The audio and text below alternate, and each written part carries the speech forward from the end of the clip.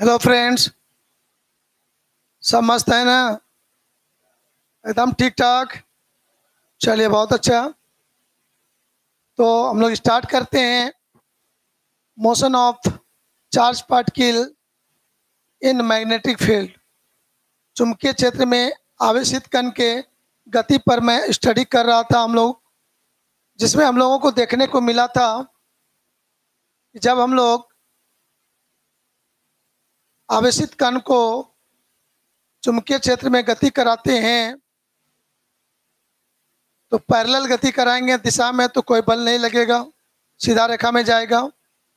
विपरीत दिशा में बल लगा, गति कराएँगे तो भी चुंबकीय बल नहीं लगेगा मैग्नेटिक फोर्स नहीं लगेगा, सीधे रेखा में गति करेगा। लंबवत गति कराएँगे मैग्नेटिक फ़ील्ड के लंबा दिशा में तो वह सर्कुलर मोशन करेगा। तो उसके बारे में सारे थ्योरी हम लोग कल पढ़ चुके थे पिछले क्लास में। अब हमारे पास एक प्रॉब्लम है कि मैग्नेटिक फ़ील्ड के ना तो दिशा में गति कराएँगे, ना तो विपरीत दिशा में गति कराएँगे, ना तो परपेंडिकुलर लंबत गति कराएँगे।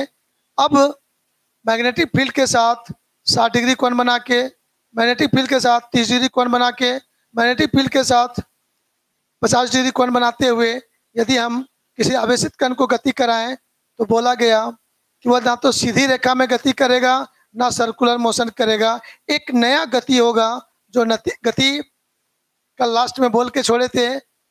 स्प्रिंग के बारे में सोचिए आप लोग। स्प्रिंग के बारे में सोचिए स्प्रिंग में गति कैसा होता है। स्प्रिंग के जैसा आप गति होता चला जाएगा से। जिसको हम लोग कहते हैं हेलिकल पाथ क्या कहते हैं? स्प्रिंग के जैसा जब गति करते हुए आगे बढ़ेगा मतलब सर्कुलर मोशन के साथ साथ लीनियर मोशन भी होगा।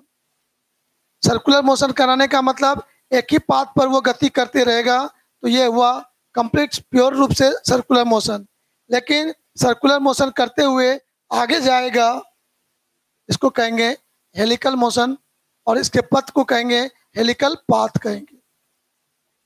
तब यहाँ पर उस हेलिकल पाथ का रेडियस क्या होगा, ये निकालना है। उस पाथ में जो वस्तु गति करेगा, उसका टाइम पीरियड क्या होगा, इसके लिए फॉर्मूला ज्ञात करेंगे। उसमें फ्रीक्वेंसी क्या होगा, ये ज्ञात करेंगे। लेकिन उसमें एक नया शब्द आएगा pitch P I T C H pitch Hindi English दोनों सेम होता है। उस पिच का क्या मीनिंग होगा? कहा कि सर्कुलर मोशन करते हुए जाएँगे, लेकिन वो आगे भी बढ़ते जाएगा। तो यदि वो सर्कुलर मोशन करते हुए आगे बढ़ते जाएगा तो वहाँ पर देखेंगे स्प्रिंग के बारे में कल्पना करो स्प्रिंग में जो दो गो सर्कल होगा उसके बीच कुछ दूरी होता है। फिर दूसरा सर्कल के बीच कुछ दूरी होता है फिर तीसरा के बीच कुछ दूरी होता है तो, तो स्प्रिंग में जो दो सर्कल बना उसके बीच की जो दूरी है वह दूरी कहलाएगा यहाँ पर पिच। मतलब मैग्नेटिक फ़ील्ड के दिशा में आवेशित कण जो दूरी तय करेगा उसमें से दो हेलिकल पाथ के बीच का जो डिस्टेंस होगा उसको हम लोग कहेंगे पिच कहेंगे। उस पिच का भी वैल्यू हम लोग कैलकुलेट करेंगे। अब यहाँ पर से देखना है कि हेलिकल पाथ में स्प्रिंग से कैसे अच्छा चित्र के द्वारा दिखाते हैं। यहाँ पर पहले पिच शब्द को समझ लीजिए। इस तरह से गति करेगा, मान लीजिए।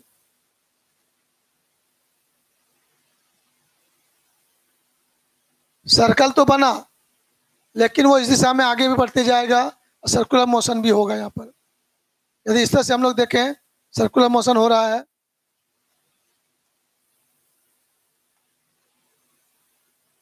तो गौर से देखिएगा, एक चक्कर, मान लीजिए यहाँ से चला, घूमकर यहाँ आएगा, एक चक्कर इसका कंप्लीट हो गया। फिर यहाँ से चला, घूम के फिर यहाँ आएगा, एक चक्कर पूरा हो जाएगा। फिर यहाँ से चला, घूम के फिर यहाँ आएगा, एक चक्कर पूरा हो गया। एक चक्कर पूरा करने में जो टाइम लगता है, उसको कहते हैं टाइम पीरियड क्या कहते हैं उसको? और एक टाइम पीरियड डिस्टेंस कवर करेगा। एक टाइम पीरियड मतलब एक चक्कर में जो समय लगा, एक टाइम पीरियड दूसरा चक्कर में जो समय लग गया, दो टाइम पीरियड तीसरा चक्कर में समय लग गया, तीन टाइम पीरियड तो एक टाइम पीरियड में ये कण मैग्नेटिक फ़ील्ड के दिशा में जो दूरी तय करेगा, उसी दूरी को कहेंगे पिच कहेंगे। और यहाँ पर वह दूरी फिगर में देखना चाहेंगे। यह दूरी हमारा पिच कहलाएगा। इस दूरी का मान क्या है, इसको हम लोग बोलेंगे पिच। अब यहाँ समझना है कि इस दिशा में उसका स्पीड क्या होगा। वो देखना है। और टाइम पीरियड तो पता हुआ, इस पॉइंट से इस आने में एक टाइम पीरियड होगा। टाइम पीरियड को हम लोग कैपिटल टी से डिनोट करेंगे। फिर का डिस्टेंस तय करने में जो समय लगेगा, एक टाइम पीरियड होगा, उसका डिफिनेशन ही ये कह रहा है एक टाइम पीरियड में जितना दूरी तय करेगा, मैग्नेटिक फ़ील्ड की दिशा में, मैग्नेटिक फ़ील्ड हम लोग इधर दिखाएँगे आपको तो ये डिस्टेंस हमारा पिच रहेगा। तो चलिए यहाँ पर हम लोग पिच के बारे में भी समझेंगे। अब यदि सर्कुलर पाथ में गति कर रहा है तो इसका रेडियस क्या होगा? इसके रेडियस को जानना है। और एक चक्कर पूरा करने में टाइम पीरियड कितना होगा, ये कैलकुलेट करेंगे। फिर यहाँ पर एक सेकेंड में यूनिट टाइम में कितना चक्कर लगाएगा, उसको फ्रीक्वेंसी कहेंगे तो फ्रीक्वेंसी भी निकालेंगे। ये सारी बातें हम लोग को यहाँ पर कैलकुलेट करना है। लेकिन ये घटना कब घटेगा? ये घटना घटेगा सर जब कोई वस्तु या वस्तु नहीं, आवेशित कण मैग्नेटिक फ़ील्ड के दिशा में गति ना करके मैग्नेटिक फ़ील्ड के साथ थीटा वो थीटा का वैल्यू ज़ीरो नहीं होगा नाइन्टी नहीं होगा वन एट्टी नहीं होगा। ये तीन एंगल को छोड़ के बात करेंगे। Thirty degree twenty five degree forty five degree fifty degree sixty degree ये सब एंगल होना चाहिए। इन सभी एंगल पर जब गति कराएँगे तो प्यारे बच्चों, वह हेलिकल पाथ में गति करता है। इस पाथ को हम लोग कहते हैं हेलिकल पाथ हेलिकल पाथ इसको बोलते हैं।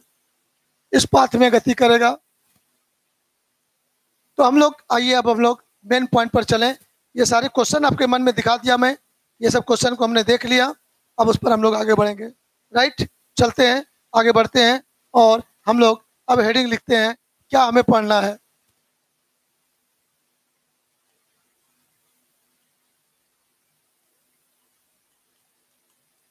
Motion of charge particle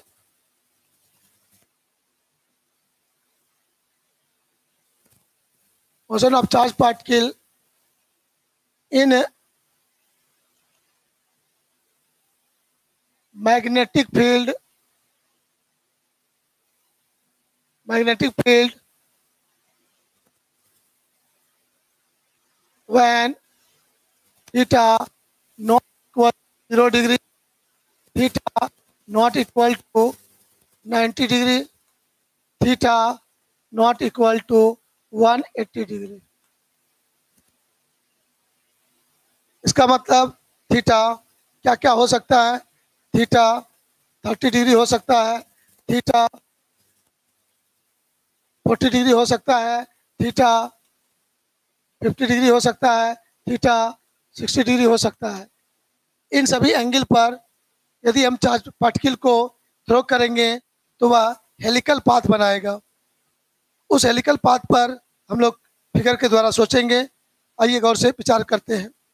suppose कर लीजिए कि हमारे पास यहाँ पर एक मैग्नेटिक फ़ील्ड इस दिशा में है और यहाँ से एक चार्ज पार्टिकल को हम गति कराते हैं। चार्ज पार्टिकल का चार्ज है क्यू और इस दिशा में गति करा देते हैं। मतलब यहाँ पर गौर से देखिएगा वेलोसिटी का ये डायरेक्शन है। मतलब यहाँ पर एंगल कितना बना दिया? थीटा थीटा का वैल्यू आपको देखने में लग रहा है कि ना तो ज़ीरो डिग्री है, ना तो नाइन्टी डिग्री है, ना तो वन एट्टी डिग्री है। ये theta near about sixty thirty forty five के आसपास हो सकता है। तो यहाँ पर वेलोसिटी का टू कंपोनेंट होगा। आप लोग आराम से बताइएगा फटाफट। इस वेलोसिटी का टू कंपोनेंट होगा। अलॉन्ग मैग्नेटिक फ़ील्ड हम कहेंगे भी ये एंगल थीटा तो नेचुरली ये एंगल भी क्या हो जाएगा? थीटा हो जाएगा तो वेलोसिटी का कंपोनेंट हो जाएगा भी कॉस थीटा और इसके परपेंडिकुलर डायरेक्शन में वेलोसिटी हो जाएगा भी साइन थीटा अब आप विचार करो यहाँ पर कि सर, यहाँ पर जैसे थ्रो करेंगे तो यहाँ से ये चार्ज पार्टिकल जो मेरा है, वो सीधा नहीं जाकर आएगा यहाँ से और वो इस तरह का पाथ बनाएगा। इस तरह का पाथ बनाते हुए वो आगे जाने लगेगा। मतलब ऐसा गति करने लगेगा।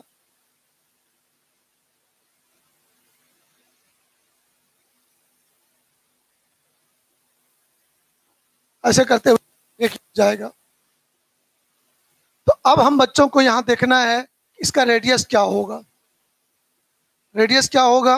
मतलब यहाँ पर देखिएगा आप लोग। इसका रेडियस मान लेते हैं ये आर हो गया रेडियस इसको जानना है टाइम पीरियड जानना है पिच या डिस्टेंस तुम्हारा पिच कहलाएगा। पिच का वैल्यू क्या होगा ये देखना है। टाइम पीरियड का वैल्यू क्या होगा फ्रीक्वेंसी क्या होगा, ये सारी बातें हम लोग पढ़ेंगे। तो चलिए आगे करते हैं कैलकुलेशन यहाँ पर जो सर्कुलर पाथ बनाया, ये मान लेते हैं कि उसका रेडियस आर है। तो कल्पना करो, यहाँ पर आपके वेलोसिटी के टू कंपोनेंट हैं। कितना कंपोनेंट है? टू कंपोनेंट कौन कौन? भी कॉस थीटा तो ध्यान दीजिएगा, ये सर्कुलर मोशन नहीं करते हुए आगे की ओर जो जा रहा है, उसके लिए रिस्पॉन्सिबल कौन होगा? भी कॉस थीटा उसको आगे ले जा रहा है। और V sine theta magnetic field के परपेंडिकुलर डायरेक्शन में है। गौर से देखिएगा यहाँ पर। और मैंने कहा था यदि मैग्नेटिक फ़ील्ड के दिशा में गति कराएँगे तो वह पार्टिकल सर्कुलर मोशन करेगा। तो मैग्नेटिक फ़ील्ड के परपेंडिकुलर डायरेक्शन में वेलोसिटी कौन है? ई साइन थीटा यहाँ पर दो मोशन है। भी कॉस थीटा लीनियर मोशन कराएगा आगे ले जाएगा इसको। और भी साइन थीटा उसको सर्कुलर मोशन कराएगा। और दोनों मोशन जिसमें हो गया, वही हो गया। हेलिकल मोशन हो गया। और इस पाथ को कहेंगे हेलिकल पाथ कहेंगे। सुना गौर से? तो यहाँ पर ध्यान दीजिएगा, ये जो हमारा हो गया, ये हेलिकल पाथ हो गया और इस पार्टिकल के मोशन को कहेंगे मोशन, और पार्टिकल इज़ हेलिकल मोशन।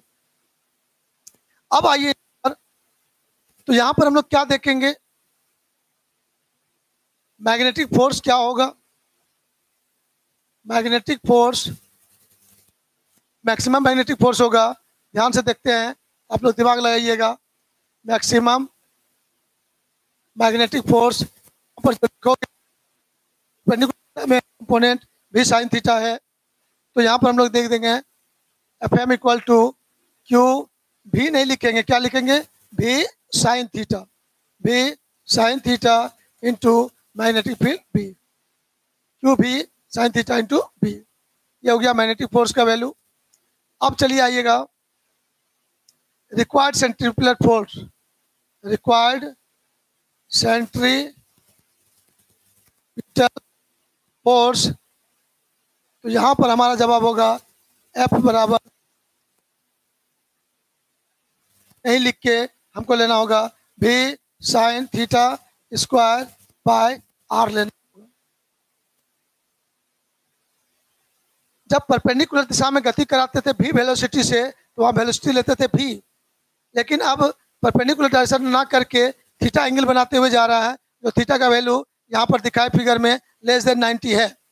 तो इस वेलोसिटी का जो परपेंडिकुलर डायरेक्शन में कंपोनेंट है वी साइन थीटा हम उसी को यूज़ करेंगे और तब यहाँ पर मैग्नेटिक फोर्स का वैल्यू यह होगा और ये हो जाएगा।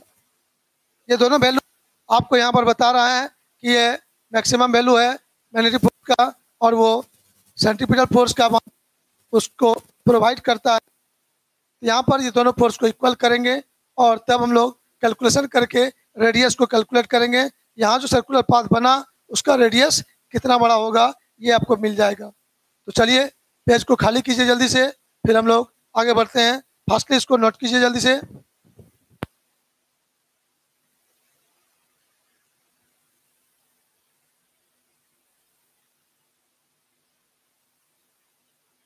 चलिए, सभी बच्चे, बहुत सारे बच्चे लगता है, कुछ लेट से जुड़े हैं।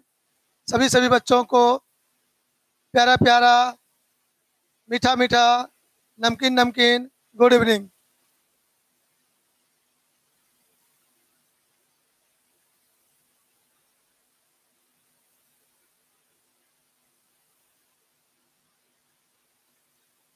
रॉकी भाई साहब पूछ रहे हैं, सर, कल क्लास खुली हुई है, कल आपके टेस्ट होंगे।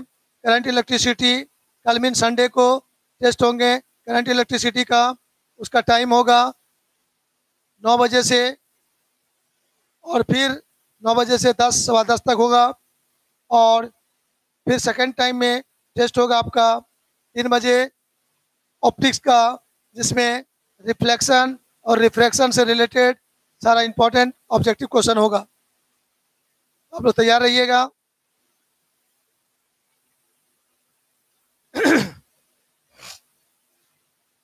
चलिए, हो गया लिखा हुआ। Very good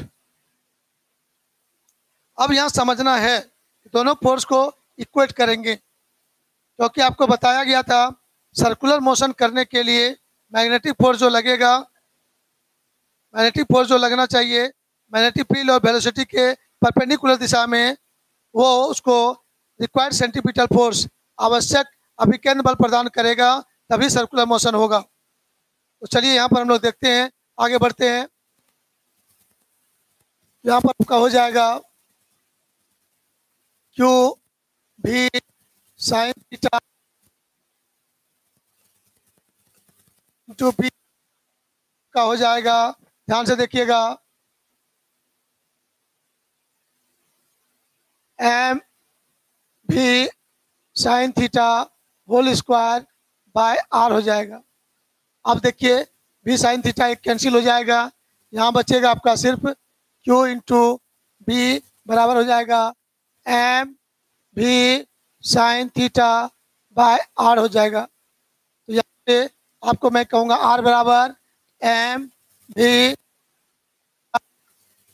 by Q B हो जाएगा। ये क्वेश्चन नंबर आपका रेडियस के लिए इक्वेशन हो गया। यहाँ पर जो देखेंगे हेलिकल पाथ का जो रेडियस होगा, ये हो जाएगा आर तो ये आर जो फॉर्मूला हुआ radius of helical path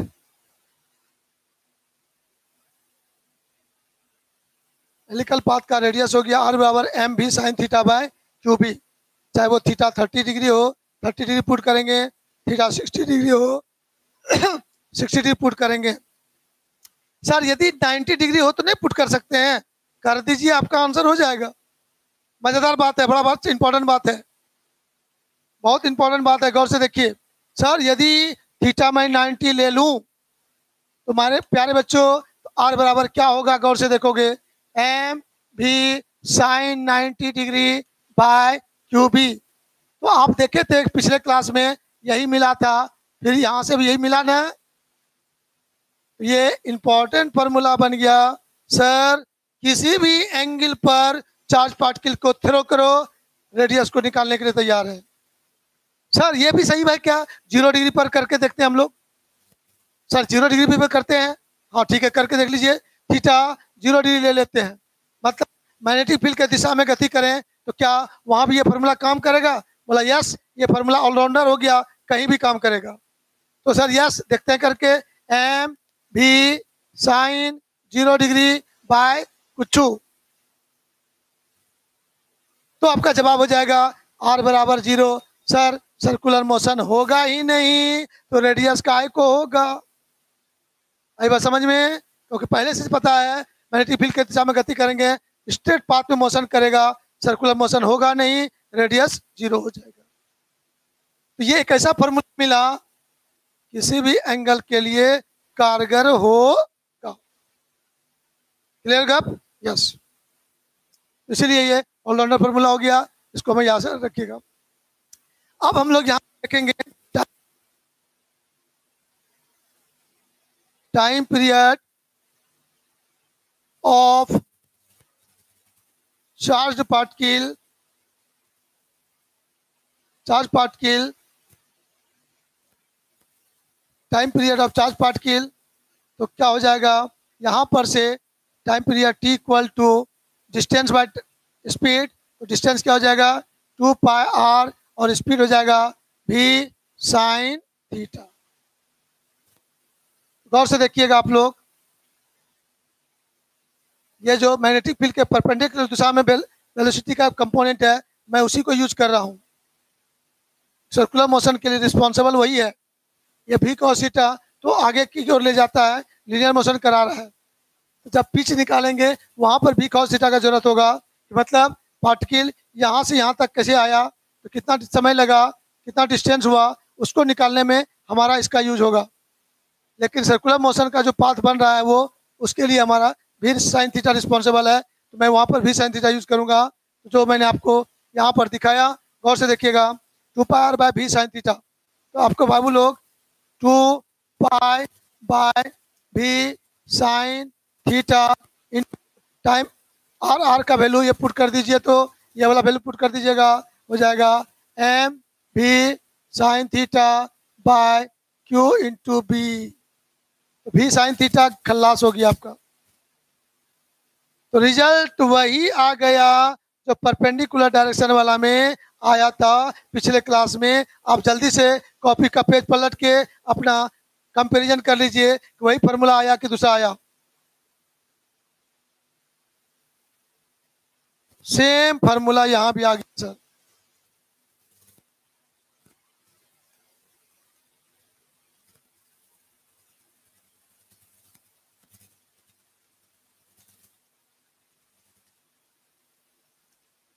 मतलब इस स्थिति में भी टाइम पीरियड का वैल्यू उसके वेलोसिटी पर डिपेंड नहीं करेगा।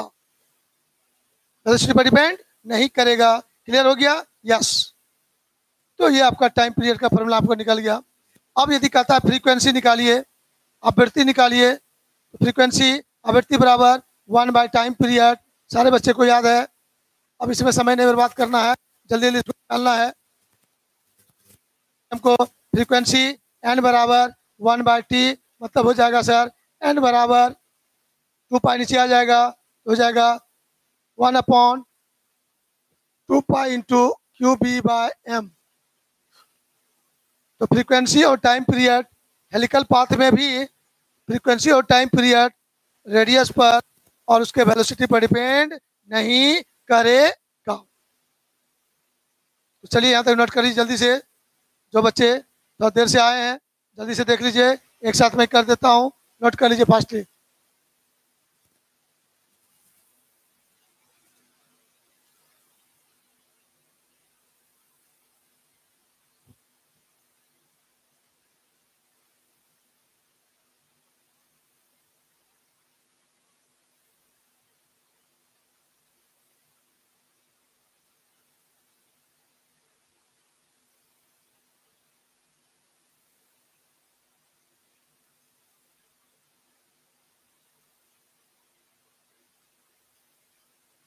चलिए आगे बढ़े। अब हमारे पास टर्म होगा।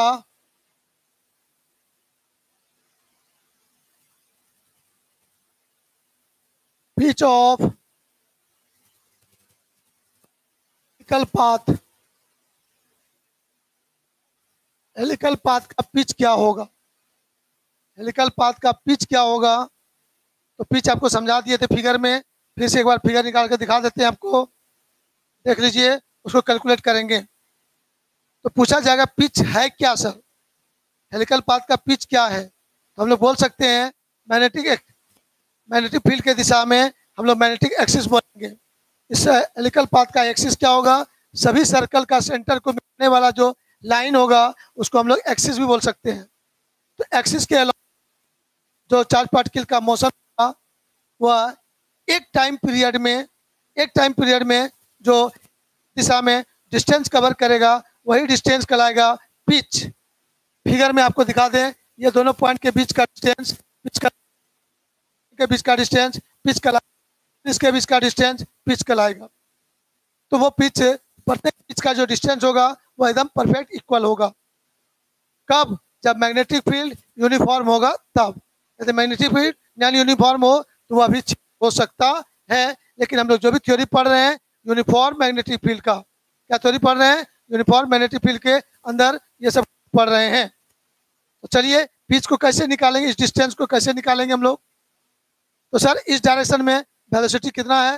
वी कॉस थीटा और एक टाइम पीरियड में डिस्टेंस कवर करेगा। तो एक टाइम पीरियड को मैंने कैलकुलेट कर लिया है। टाइम पीरियड का वैल्यू कितना है? टाइम पीरियड वैल्यू जो कल हम लोग पढ़े थे, वही वैल्यू टाइम पीरियड कितना है? गौर करके देखिए जल्दी। टाइम पीरियड का वैल्यू आपका यहाँ पर देखने को मिल रहा है। ये हुआ का वैल्यू टी बराबर two pi m by q B तो चलते हैं बच्चे लोग, यहाँ से आगे बढ़ते हैं।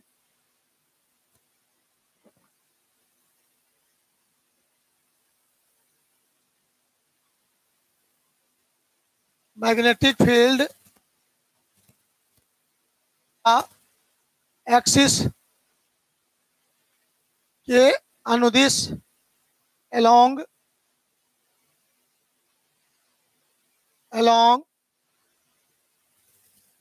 one time period, one time period में आवेशित कण द्वारा आवेशित कण द्वारा तय की गई, तय की गई गई दूरी को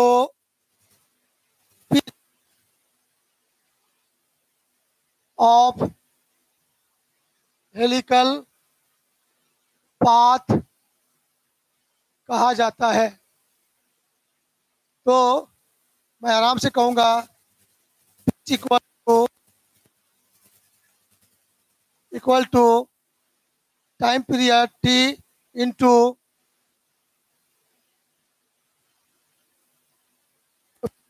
या डिस्टेंस तो यदि डिस्टेंस निकालना चाहेंगे तो हमारा हो जाएगा time period time period into v cos theta time period into v cos theta तो फिर हो जाएगा time period t into v cos theta.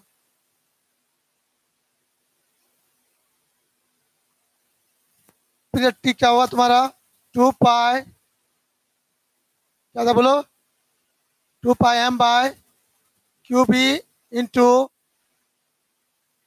v cos theta.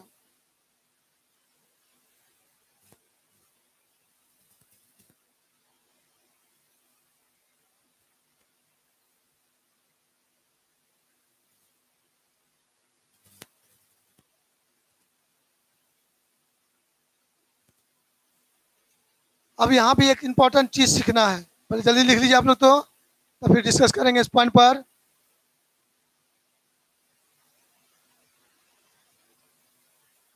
आज हम नहीं बोले हैं लाइक करने तो मेरा कोई प्यारा प्यारा बच्चा लोग जो है ना लाइक नहीं कर रहा है, खाली देख रहा है। बाबू लोग लाइक करो सबको जल्दी जल्दी।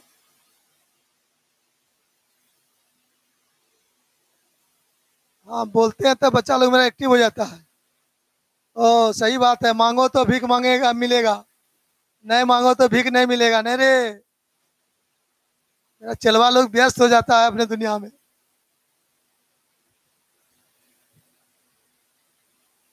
ठीक है, तुम लोग को यही अच्छा लगता है, रोज मांगेंगे।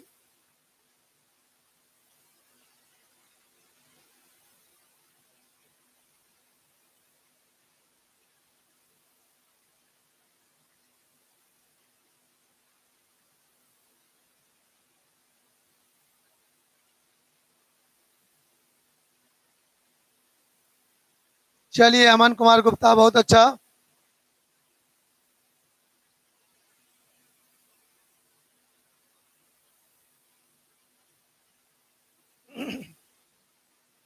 चलिए, हो गया लिखा हुआ। तो आप जैसा ध्यान दीजिएगा यहाँ पर।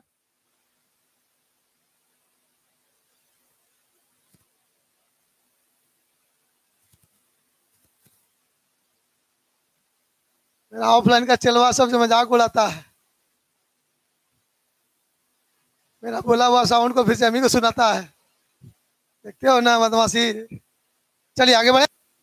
मैं आपको बताना चाह रहा था कि सर, यदि मैग्नेटिक फ़ील्ड के परपेंडिकुलर दिशा में गति कराएँगे तो वनली सर्कुलर मोशन होगा हेलिकल पाथ नहीं बनेगा। इसका मतलब डिस्टेंस जो पिच है पिच का वैल्यू क्या हो जाएगा? ज़ीरो होना चाहिए कि नहीं? आइए देखते हैं फॉर्मूला से होता है क्या?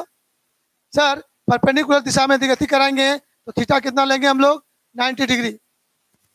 90 डिग्री जैसे लेंगे, गौर से देखिएगा cos 90 zero zero into something zero तो पिच क्या हो जाएगा?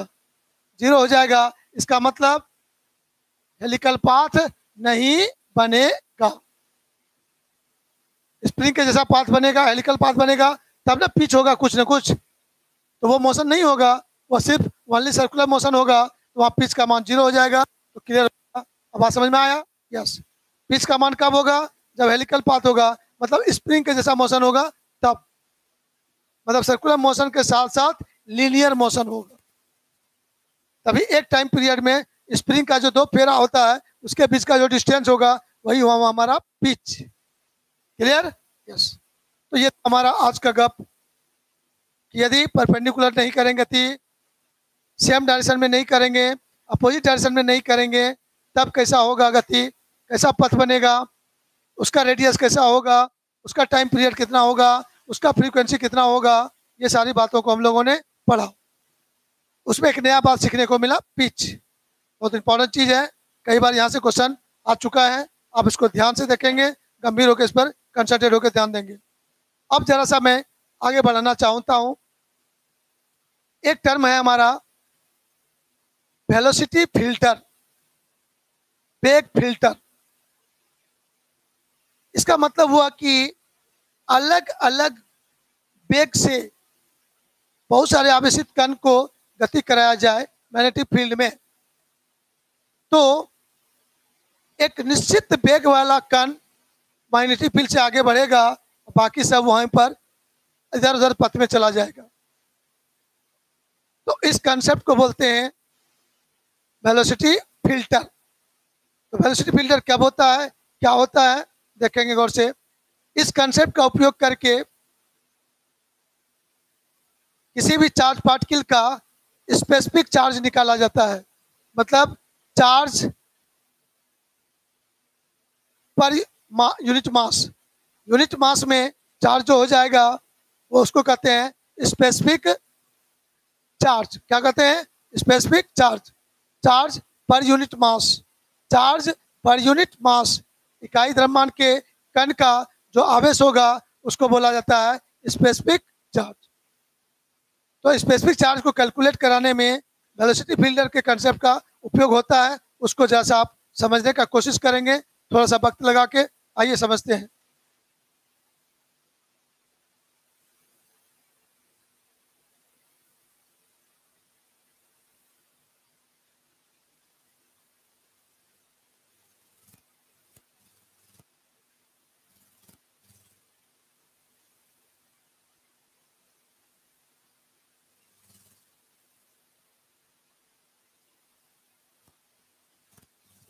Filter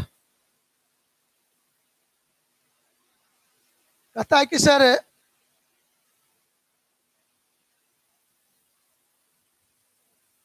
electric field electric field तथा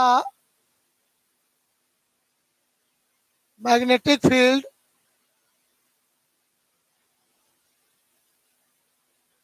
एक दूसरे के एक दूसरे के लंबवत हो लंबवत हो और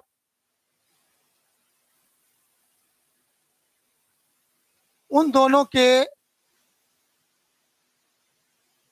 उन दोनों के लंबवत दिशा में में आवेशित कण को कण को गति कराया जाए तो आवेशित कण को गति कराया जाए तो इलेक्ट्रिक फोर्स तथा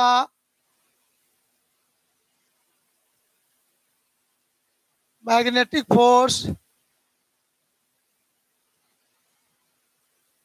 मैग्नेटिक फोर्स एक दूसरे के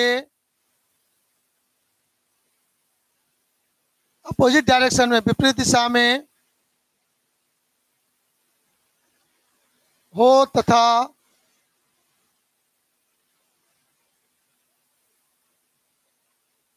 दोनों का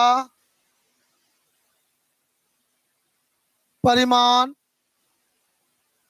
मैग्नीट्यूड समान हो तो रिजल्टेंट फोर्स रिजल्टेंट फोर्स का मान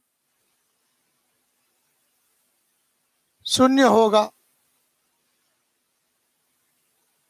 तो गौर से देखिएगा आपको सिखाया गया था। एक मिनट जैसा रुक जाइएगा। जो जहाँ लिख रहे हैं, रुक जाइए। आपको सिखाया गया था एक दिन, इलेक्ट्रिक फ़ील्ड भी है हॉल में और मैग्नेटिक फ़ील्ड भी है। मतलब मैं ये समझूं, वाई एक्सिस की दिशा में इलेक्ट्रिक फ़ील्ड है और जेड एक्सिस की दिशा में मैग्नेटिक फ़ील्ड है और एक आवेशित कण को एक्स एक्सिस की दिशा में गति कराया जाए। तो तीनों एक दूसरे के लंबवत हो गया। तो ऐसी स्थिति में कहा गया, इलेक्ट्रिक फ़ील्ड के कारण जो फोर्स लगेगा और मैग्नेटिक फ़ील्ड के कारण जो फोर्स लगेगा, दोनों एक दूसरे के अपोजिट डायरेक्शन में हो जाएगा। और अपोजिट डायरेक्शन में हो जाएगा और यदि दोनों का मैग्नीट्यूड इक्वल हो जाए तो रिजल्टेंट का वैल्यू क्या हो जाएगा?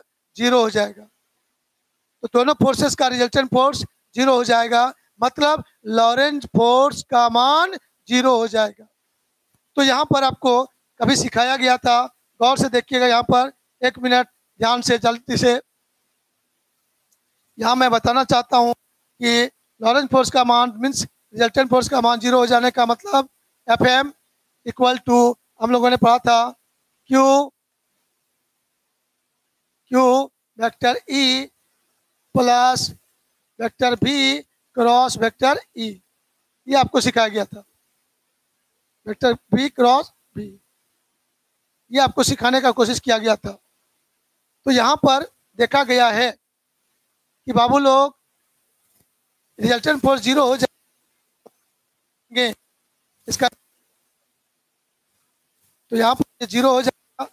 ज़ीरो हो जाने के बाद q into vector E plus v cross B मतलब हो जाएगा v B sine theta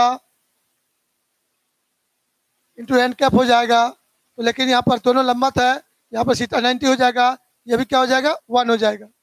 यहाँ पर हमको देखा जाएगा। या एक स्टेप अच्छा ठीक है, रहने तो कोई बात नहीं। हम लोग कर सकेंगे। ई का मैग्नीट्यूड और भी बी ये जो है आपस में क्या जाएगा? इक्वल हो जाएगा। इक्वल हो जाने का मतलब जाएगा? यहाँ से ई या भी बराबर हो जाएगा ई बाय भी तो कहा गया है ये वेलोसिटी फील्डर का मतलब हुआ, एक आवेशों का एक झुंड है और उस झुंड में सभी आवेशित कण गति अलग अलग वेग के साथ। लेकिन जिस कण का वेग इलेक्ट्रिक फ़ील्ड और मैग्नेटिक फ़ील्ड के रेशियो के बराबर होगा, वही चार्ज पार्टिकल उस फ़ील्ड में गति कर पाएगा स्ट्रेट पाथ में, बाकी चार्ज पार्टिकल अपने पथ से डेविएट हो जाएगा। मतलब आवेशों के एक झुंड में बहुत सारे आवेशों में से एक आवेशित कण को वहाँ से चुनकर निकाल लिया जाएगा। बाकी आवेशित कण अलग अलग दिशा में बिखर जाएँगे। इसीलिए कहा इसको नाम दिया वेलोसिटी फ़िल्टर क्या नाम दिया? वेलोसिटी फ़िल्टर वेलोसिटी को फ़िल्टर करके अलग चुना जाता है। तो उस कंसेप्ट का अप्लाई किया जाता है। ये हो गया हमारा वेलोसिटी फ़िल्टर का वैल्यू कितना होगा? जाता है आपको तो आपको बोलना होगा ratio of the electric field intensity and magnetic field is known as the velocity filter right तो चलिए, ये सभी क्वेश्चन हमको पढ़ेंगे। इलेक्ट्रोमैग्नेटिक वेव विद्युत चुंबकीय तरंग पढ़ेंगे। वहाँ पर यही क्वेश्चन डायरेक्ट यूज़ करेंगे। आपको भी याद रखना है, क्योंकि इलेक्ट्रोमैग्नेटिक वेव में इलेक्ट्रिक फ़ील्ड भी होगा और मैग्नेटिक फ़ील्ड भी होगा। इलेक्ट्रिक फ़ील्ड भी होगा और मैग्नेटिक फ़ील्ड होगा। तो वहाँ पर चर्चा जो होगा, वहाँ पर ये कंसेप्ट अप्लाई किया जाएगा।